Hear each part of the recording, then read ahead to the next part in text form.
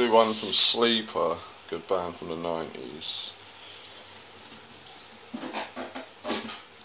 Basically, I think it's about a woman that marries a geezer who's got dodgy heart, waiting, waiting for his money, dodgy bitch.